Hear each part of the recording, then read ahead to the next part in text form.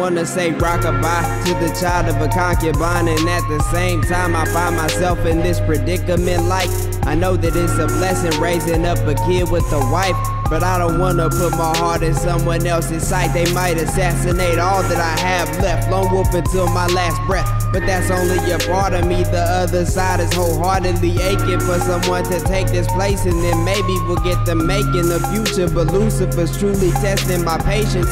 So much responsibility in raising my seed, making sure that he's studying hard and he's in the top three, or hoping that she won't go through the motions and these men won't leave her wounds open and she won't be choked by the thorns that I've seen. Plus the fact that they may never know God, and that's what really kills me. Letting them know that at one time I was broken and filthy, but all that I say can I sway the decision. So I would just pray and wait for the day they say they're forgiven and accepting that He is risen. So in turn we can rise. No telling who's in their future. They could be wolves in disguise. I don't want